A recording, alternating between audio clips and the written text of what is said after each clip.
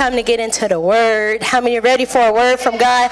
I am so excited about the, you know, I'm already very excitable kind of person, but um, I'm really excited about this word. I really believe that it's going to really um, change a lot of our perspectives and our paradigms, right? Um, so I'm really excited about this word. Let's just go ahead and open in prayer.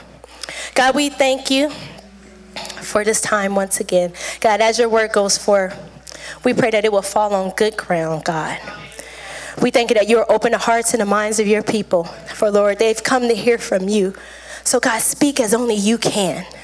God, we come against the, the enemy who will want to distract or um, blind or close ears. Holy Spirit, we say, have your way in this place. We love you and we thank you. In Jesus' name, amen. See, that's what Holy Ghost. Also, the couples ministry. If you are a couple, if you are booed up, or you about to be engaged, or you married, this is for you. Oh, come on, look at the cover. Look at yes. They are meeting right after right after church, immediately after service. And you know if you're a couple, you need some support sometimes. Amen. It's just great to hear other um, stories and uh, get encouragement from other couples. And the chat and chew you're, you're meeting today, yes. Oh, I think I've almost said and wanted to join the chat and chew ministry on today. All right. All right. Uh, today we you know we've been doing our on ramping series about um, on ramping. We've had very uh, different messages about merging and, and on ramping and exiting and detouring. And today we're talking about um, no longer living on e. All right? No longer living on e.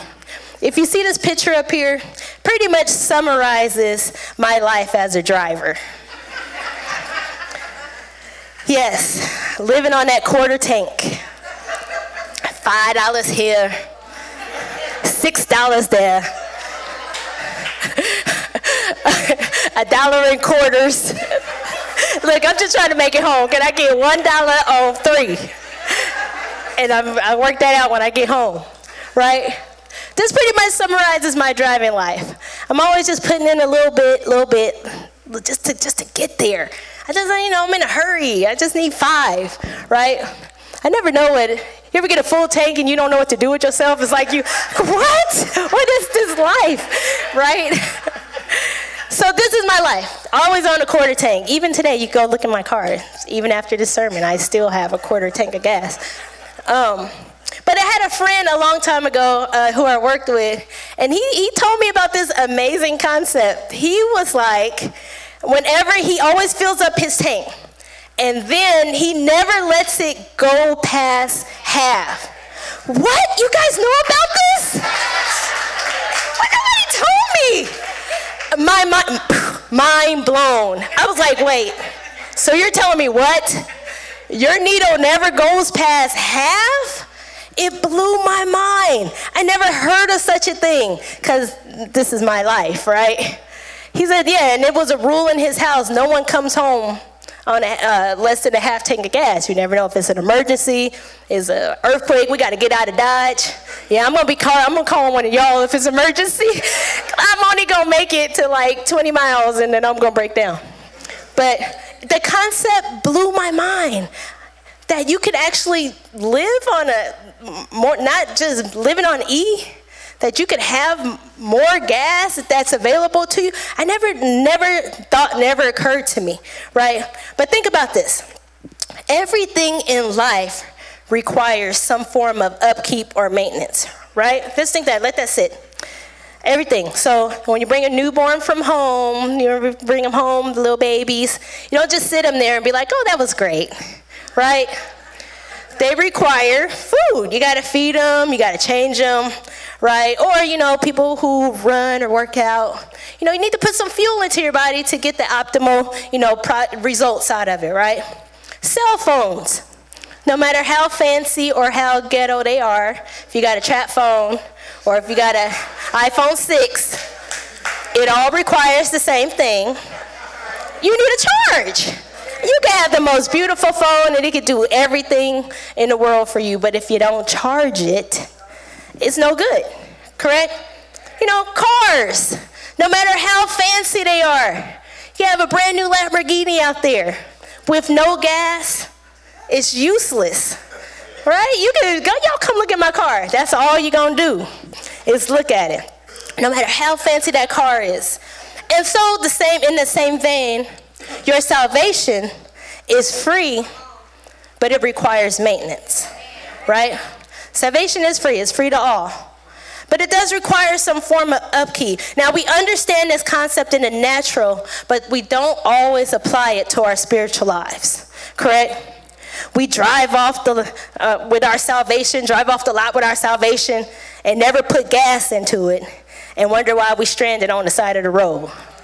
Jesus, where are you? Why won't you help me? Well, you didn't put gas in your salvation, right? Um, I want to suggest to you today that there is a better way to manage your Christian life than just going to church and getting $5 and making it through the week. Right? We can actually live on full in the spirit.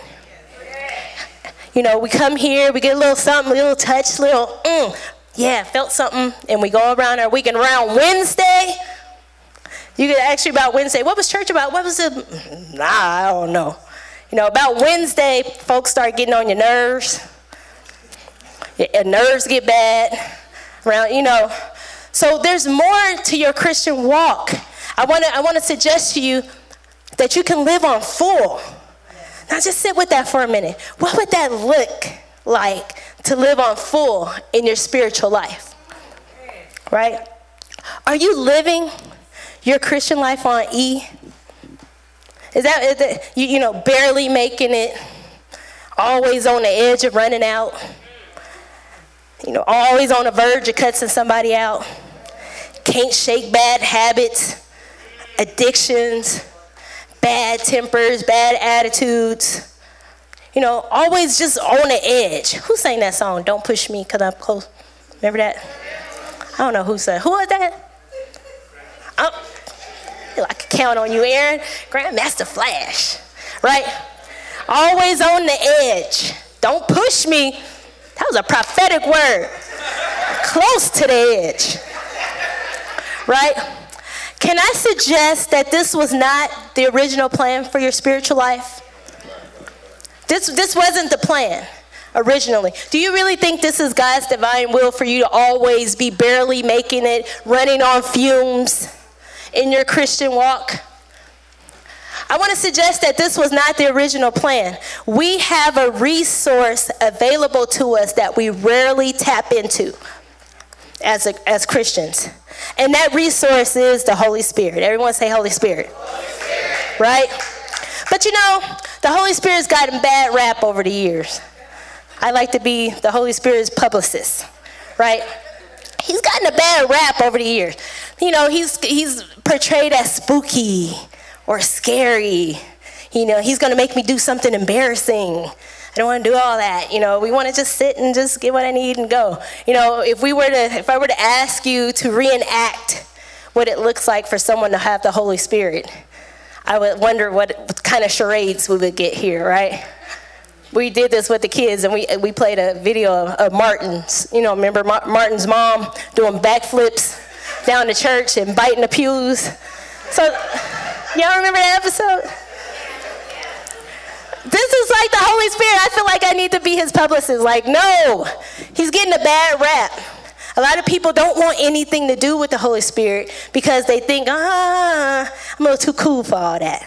I ain't trying to do all that. He gonna, he gonna make me do something crazy. I, I'm, I'm cool. I don't, I don't want no part of that. But I would like to explain who he is and what his function is so that he can help us in our everyday life. Is that okay with y'all? Are you we ready to have like an open mind, like open discussion, right? Okay, first of all, who is the Holy Spirit? He is the third person in the Trinity. Father, the Son, and the Holy Spirit, right? He is not a force or a it.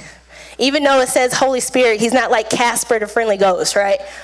He's a real person. He has intellect, he has feelings, he could be grieved, he gives gifts. He's a real person, and we should address him as so. No, we, we address him as some, you know, force, you know, he's the universe. May the force be with you. Like, no, that's not what he is. Um, in the Old Testament, before Jesus came, the Holy Spirit would come and go. You guys remember these stories? He would come on somebody like David or Saul or one of the prophets or the judgment or the judge judgments or the judges, and it'll be like turbo speed on a video game. Like he would come on them and they would do like crazy stuff. And then he would leave. You know, he would come on them and they would prophesy and then he would go. Or he would come over and they would like kill thousands of people and then they would go, right? The Holy Spirit would come and go.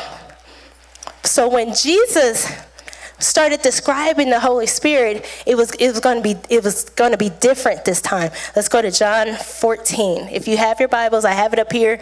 If you want to look at it for yourself, don't take my word for it. Open up your Bible. Get that Bible app out. John 14. Jesus said, I'm going to read it this way.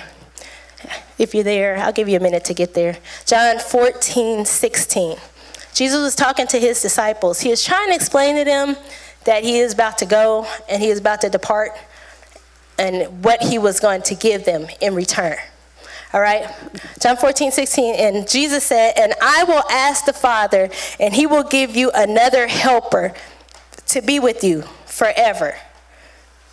Jesus said that he will send the Spirit to be our helper, our comforter, our guide. The Greek word here translated is counselor one who is called alongside.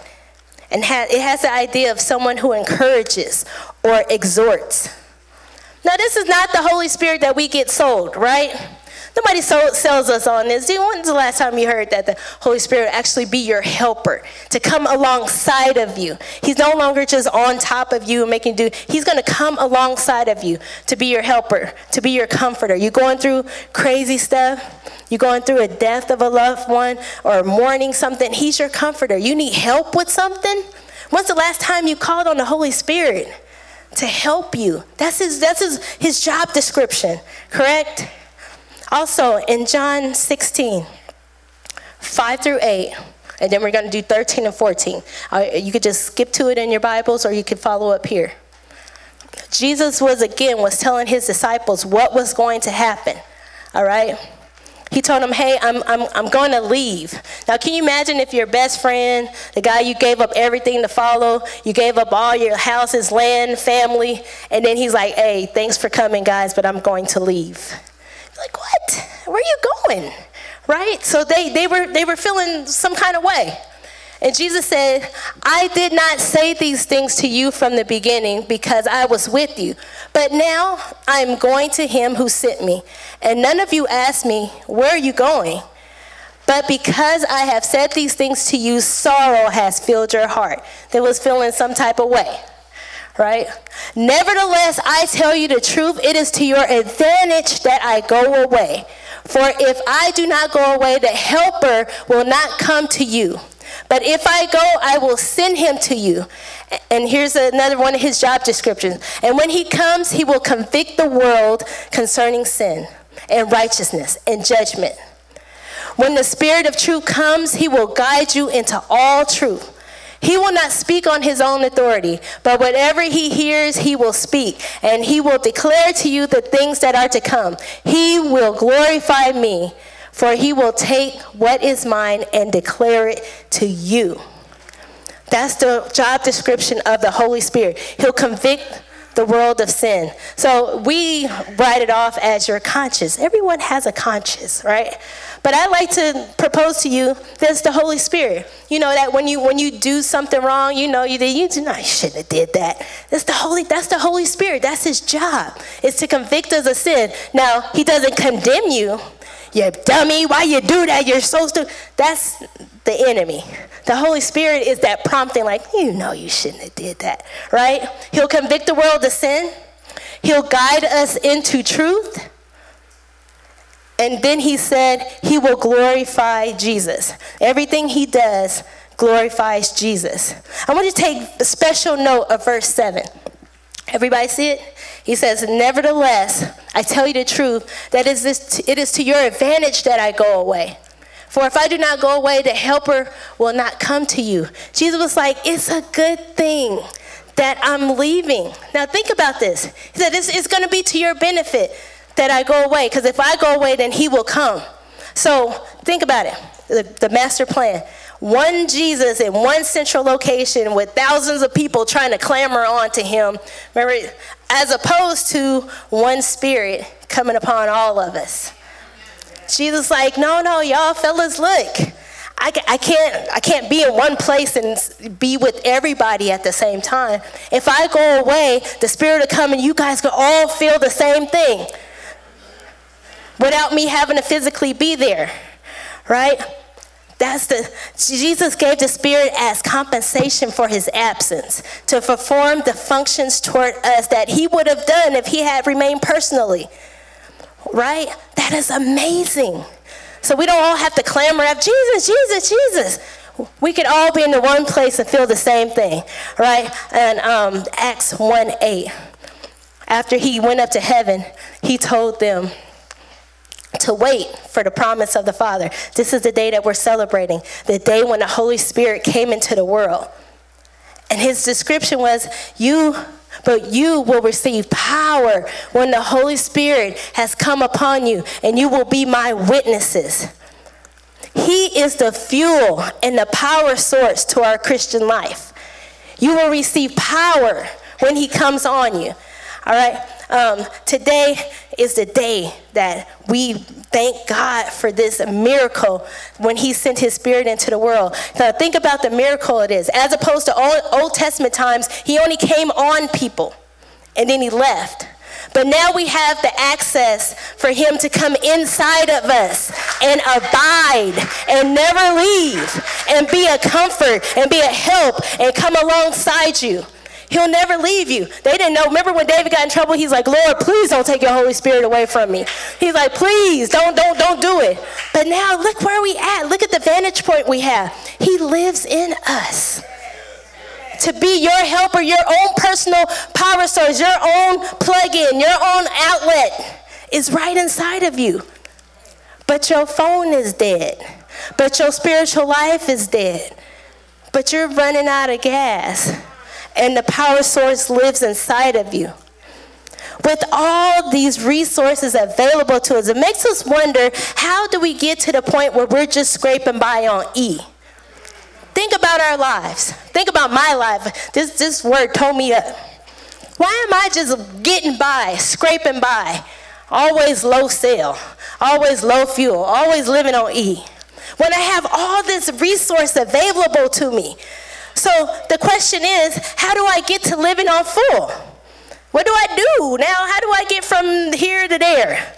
Well, I like to propose that we all have a spiritual gas gauge, and it's found in the book of Romans and the book of Colossians. All right, the book of Galatians, I'm sorry. Romans and Galatians. There's a spirit, imagine a spiritual gas gauge.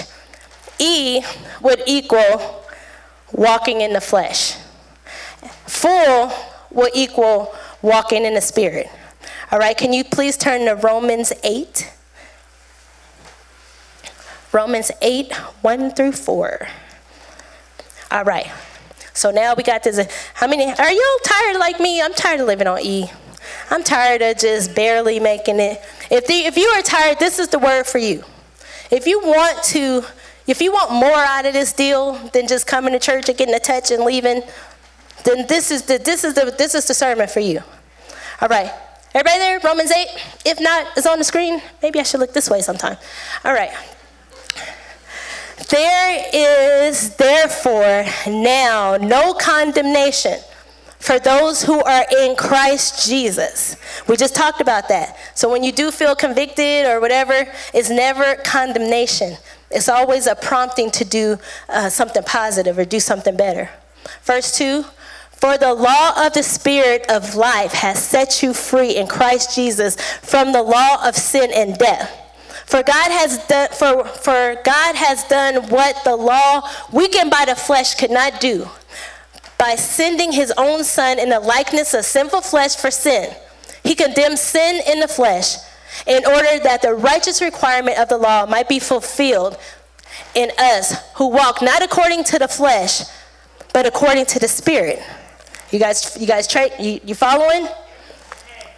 It says, For those who live according to the flesh set their minds on the things of the flesh. But those who live according to the Spirit set their minds on the things of the Spirit. For to set the mind on the flesh is what? But to set the mind on the Spirit is what? And peace. For the mind that is set on the flesh is hostile to God, for it does not submit to God's law. Indeed, it cannot. Those who are in the flesh cannot please God. Now that was a whole mouthful. What, we, what is this flesh he's talking about? Is it wrong to be human? Am I just being, uh, you know, I have flesh? What is he talking about? I have a great uh, quote from uh, Monsignor Charles Pope. And it says, What is the flesh? Perhaps most plainly, it refers to the part of us that is alienated from God. It is the rebellious, unruly, obstinate part of our inner self that is operative at all time. It is the part of us that does not want to be told what to do. It is stubborn, refuses correction, and does not want to have the thing, does not want to have a thing to do with God. It bristles at limits and rules. It recoils at anything that might cause me to be diminished or less than the center of the universe. The flesh hates to be under authority or, or to have to yield to anything other than its own wishes or desires. The flesh often desires something simply because it is forbidden. Anybody know, know, know that part of the flesh? yes, Lord. So, the flesh, this is what he's talking about. Living according to the flesh. See, you, we got this, we got this dilemma going on. And if you don't think that your flesh is strong, just try to pray for five minutes. And watch how quickly your mind wants to think about any other thing but God. Just try to fast. Just try to be less selfish. And watch how your flesh goes to war. This is something we are all in the same boat, right? We are all dealing with this flesh. And you start seeing it when your kids are about two years old. Oh, the flesh is in full display. And we, we all have that part in us. We all do. This flesh. So he's talking about walking in the flesh versus walking in the spirit. Um, I'm going to flip over to Galatians. So I don't know if you could keep going to your, what's that, your right? Yes. Keep flipping to your right. Go to Galatians 5 16. And we're going to talk about how the flesh, we're still talking about this flesh. The flesh demands to be fed. This is something you need to know. The flesh demands to be fled, fed. In Galatians 5 16, it says, But I say, walk in the Spirit, and you will not gratify the desires of the flesh. For the desires of the flesh are against the Spirit, and desires of the Spirit are against the flesh. For these are opposed to each other to keep you from doing the things you want to do. My God, we are in a predicament, huh? Lord, help us. Within the human person is a deep conflict between the flesh and the spirit. We must not be mistaken. The flesh is in us and it is strong. How many can attest that the flesh is strong? It has declared war on our spirit and on the spirit of the Holy of, of God. He's declared war on the Holy Spirit. When the, when the spirit tries to obey the flesh, and when the spirit tries to obey, the flesh resists and try to sabotage the best aspirations of the spirit. We must be sober about this conflict and understand that this is why we do not do what we most know what is right. The flesh has to die and the spirit has to become more alive. What you feed grows. What you feed grows. If we feed the flesh, it will. But if we feed the spirit, it will. What are you feeding? What are you feeding the most today? If you feed the spirit, it'll grow. If you feed the flesh, it'll grow. So, this is why We're having, this is why some, a lot of times we, including myself, we're walking on E because we're walking in this flesh. And nothing comes, nothing, life, death comes from walking in the flesh. Everything you do in the flesh ends up dying, comes to no good. Just, oh, what happened to some? Oh, that just fizzled out. right? So how do you have evidence? What is the evidence? Why you know maybe like, well, I don't necessarily walk in the flesh. What are the evidence, right? Let's go to Galatians five. This is a mouthful, but it's in the message. Now, it says that the works of the flesh are evident. And if you look at another translation, especially like the King James, it has all this lasciviousness and dissensions and um, it's striving. And even last time, like, oh, that doesn't apply to me. I don't have lasciviousness. Like, we just like roll over it. But that's why I like the little message. The message will break it down. Like, no, boo, come back. You in here. You are in here. Right? So let's look at the message. The message breaks it down. So, how do you know if you're walking in the flesh? It says, It is obvious what kind of life develops out of trying to get your own way all the time repetitive, loveless, cheap sex, a stinking accumulation of mental and emotional garbage, frenzy and joyless grabs for happiness, trinket gods, magic show religion, paranoid loneliness, cutthroat competition, all consuming yet never satisfied wants, a brutal temper, and impotence to live, to, to love, or to be loved. Divided homes and divided lives, small minded and lopsided pursuits, a vicious habit of depersonalizing everyone into a rival, housewives of whoever uncontrolled and uncontrollable addictions, ugly parodies of community. I could go on, but this isn't the time. This isn't the first time I've warned you, you know. If you use your freedom this way, you will not inherit God's kingdom. Come on, message. Woo, that message will get you. So what that's the evidence of living this way. We we all know it. If we just let our flesh just take over, it turns into all that. And it, we all have a, a, a bend towards something right? We all have a bench or my thing is not your thing, your thing might not be my thing. And as humans, we tend to categorize them and say, my thing is better than your thing, and your thing is way down here, but mine's is just a little white lie, right? We try to but it's all the same because it's all coming out of the flesh. It's all outworkings of the flesh. All these things are just coming out of being a human being.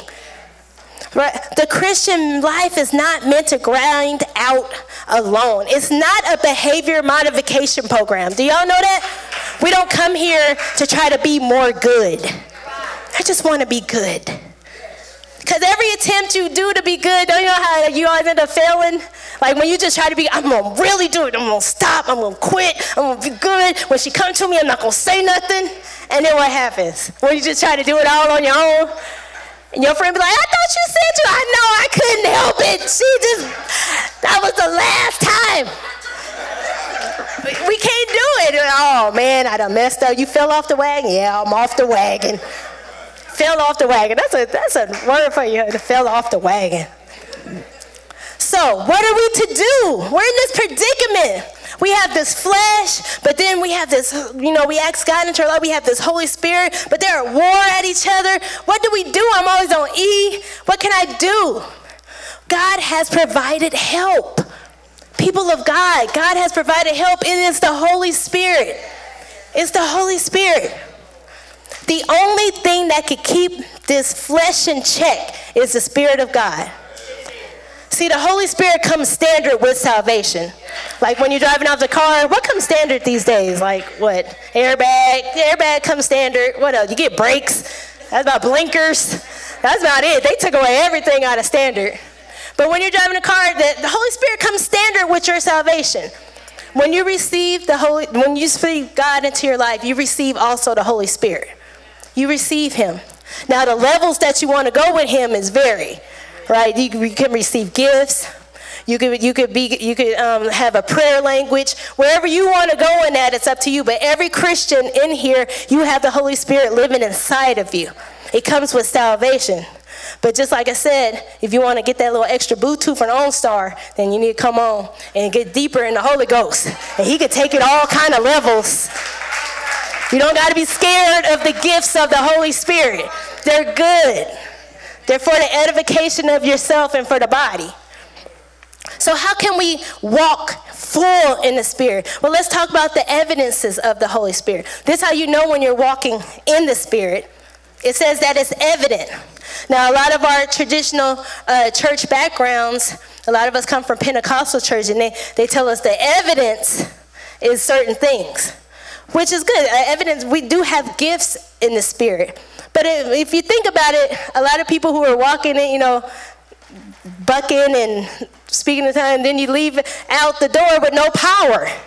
You're still doing the same things you did, but it was like, oh, but I'm, I'm speaking in tongues. I was shouting, but I don't know why I can't do anything, right? I'd like to suggest to you that this is truly one of the evidences of, of living a life in the Spirit.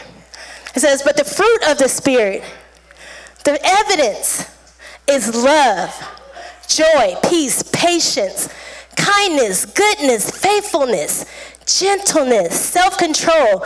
Against such there is no law. Think about it. There's no law for doing it. Who gonna, who gonna arrest you for doing this?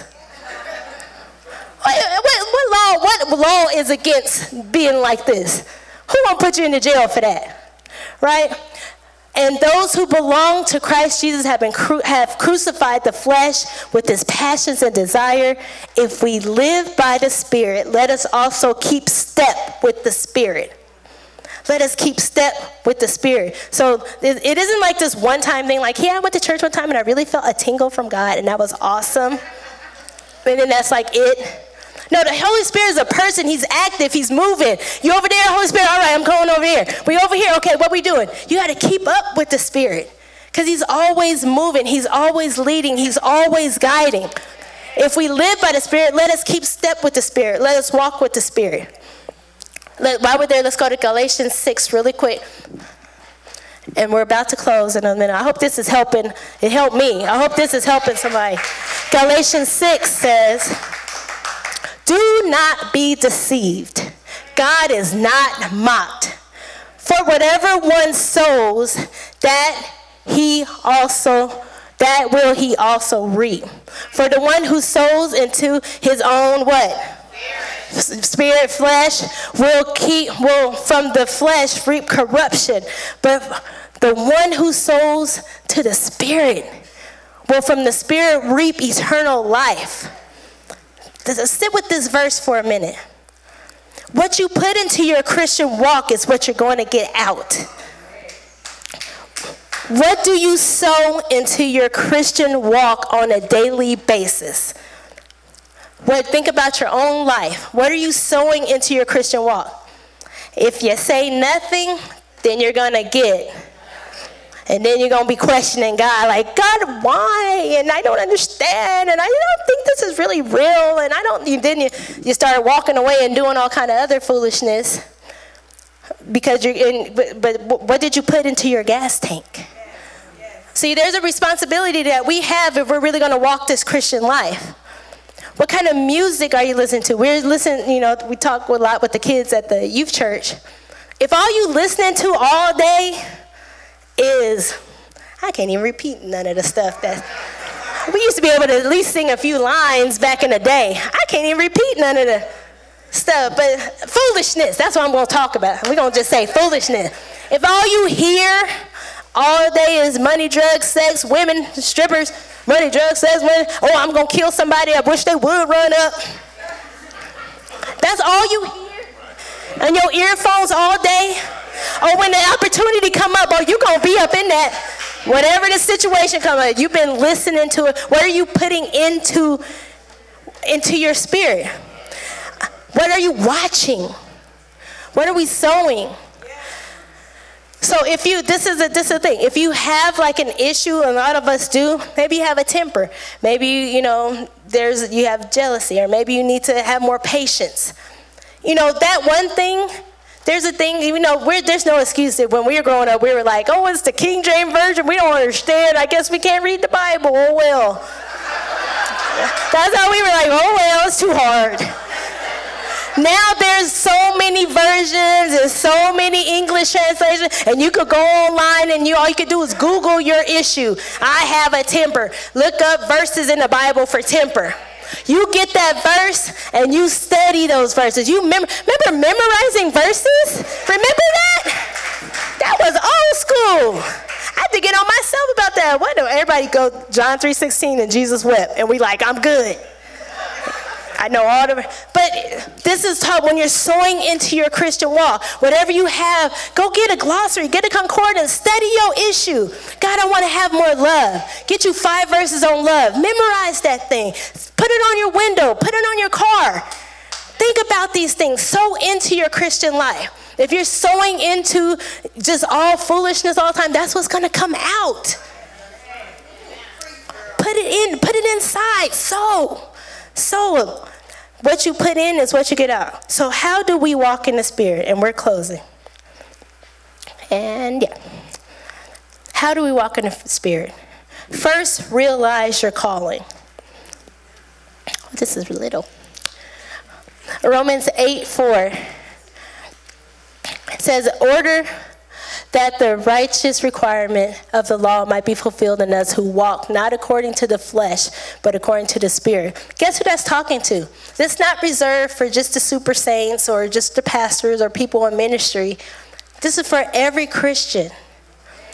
We, we're all called. If you're a Christian, then you have the Holy Spirit residing in you. This is for all of us. This is just not for, well, you know, I ain't trying to get that deep into everything. I just want I just want to come to church, and that's it. But if you are, uh, if you call, if you're proclaiming to follow God, then this life is for you. He wants you to walk in the Spirit. He wants you not to, to walk in your flesh. Number two, how to walk in the Spirit, set your mind on things of the Spirit. Romans 8 5 says, For those who live according to the flesh set their minds on the things of the flesh, but those who live according to the Spirit set their minds on things of the Spirit.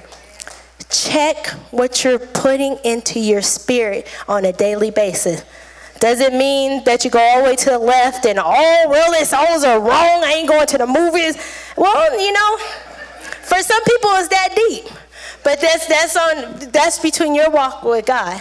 You should I, I, I try to tell my kids this should be at least a 50-50 rule. As many of foolish songs you got in your iPod, you should have as many Christian songs in your iPod. It should be, it should at least be, at least let the Christian song be 80, 20, something. At least have some kind of 80-20 rule going on in your life that you're sowing into the Spirit. You're reading Bible verses. You don't have to read thousand chapters a day. Get you one chapter. Get you one verse. Get you one thing you want to work on and study it. Go do a word search. I need to do patience. Let me just do words on patience. Listen to the music. Find you a style of, of music that's going to bring you life and not bring death. All right? Walking in the Spirit. The third thing put to death the deeds of the body by the Spirit. But this is a whole nother sermon. And that's a whole, boy, we could do a whole thing about uh, killing the flesh. Matter of fact, you read it on your own. Don't wait. Go read Romans. Read Romans 8 and read Galatians 5 on your own free time and learn about what it means to, to, to kill the flesh you know, and to be like a, a walking, you know, we should really be, you know, like walking zombies around here. You're supposed to kill this flesh and walk in the spirit. We should be walking in the spirit, but every time that flesh want to rise back, you got to kill it back again. It's like the it's like the return on the zombies every day. That flesh keep rising up. You got to kill it again. Here it come again. Kill it again. All right. Number three. It says Romans 8, 3, 8 13, if you live according to the flesh, you will die. Think about this. If we really gave to gave into every craving and desire our flesh has, it leads to death. This flesh is no, I mean, it means no good for us. We're in sinful, we're in sinful bodies, sinful nature. And if it wanted to have its way, it would, it would just want to kill you. everything that feels good to us or that we want will usually lead to your demise. Right? But if by the Spirit you put to death the deeds of the body, you will live. You will live. That's what the word says. You will live. So, what does that look like? That doesn't mean that you go around being good all the time. I'm just trying to be good. I'm going to try to be good. That's not what that is. That's letting the Holy Spirit come into your life. Lord, take over. I'm going to sow into the Spirit. Then you find the more you're listening to stuff, the more you're reading, and then people come up and issues come up, you're like, hmm, that don't even bother me. You know what? I'm going to ignore you. God bless you. Yes. Somebody call you up one of them shady phone calls. You know, not feeling it. Good. All right, bye. The more you sow into the spirit, the less, the more you increase in the spirit, the more you'll decrease in your flesh. The more I promise you, this is the word I promise you, kill the deeds of the flesh, kill it. And number four, be led by the spirit. Uh, Romans 8 14. For all those who are led by the Spirit of God are sons of God be led. So essentially, you have an unlimited gas card in the spirit. Unlimited. But it's up to you to fill up. You give your child a gas card, be like, hey, don't worry about it. Just if they call you talking about they ran out of gas, how would you feel? I gave you a gas card, there's no excuse. Same thing in our spirit. God's given us an unlimited fuel unlimited power. It's available to us. This is great news, guys. We don't have to live on E. We don't have to bear. I'm barely making. How you doing? I'm all right. I'm trying. Oh, I guess I'm gonna make it today. God wants us. We can live full, but it requires some maintenance and some upkeep on our part. All right. So we're closing. Um, being filled is not some spooky experience, but it's power for living. It's an intentional walk with God. It's intentional. We got to put something in this thing, guys. We, we want God to do everything. If people have kids, it's, it's our joy as parents to learn to do things on your own. Come on, I'm not going to do it for you all the time, right, parents? But God's our heavenly Father. He's not going to do everything for us all the time. He wants us to put some effort into it. If you're tired of living on E, if you want to be filled with God's Spirit, it's not some spooky running backflips around here. It's a simple surrendering your will and your life to God. Telling Him, you know what? I've been living in this flesh, I've been letting my flesh take over. I've been letting my flesh run things. But now I want you to I want you to run it. I want to have your desires. I want to be filled up with you. We're going to just have a time of, of prayer and reflection. Um, if you could just bow your heads, we're just going to sit where you are. Just have some time with God. And think about your life and think about you know, we're, we're, we're, we all struggle with the flesh. This is, this is one thing that we are all in the same boat with this flesh, keeping it in check. But the only thing that could do it is God's Spirit. So we need Him to fill us up. If you are here and you're like, God, you know, I'm just tired of living on E, just talk, talk to God. It doesn't even have to be some dramatic moment. You don't have to just a big come to Jesus moment. Just, just talk to Him. Be like, God, I need more of you. God, I want to be filled up with you. When I'm filled up with my flesh, is is ugly. It, it, it produces yuck. But God, I want I want more of you. I want to live on full.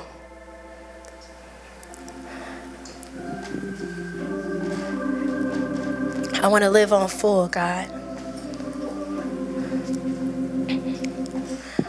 Yes, God. Talk to Him. God, I need more of you. I can't do it on my own, but I need you. I need to be filled up with your presence. Yes, God.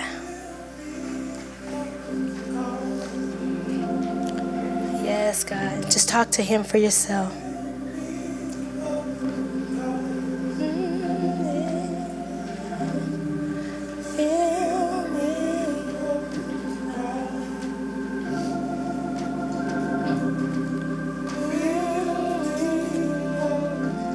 Yes, God.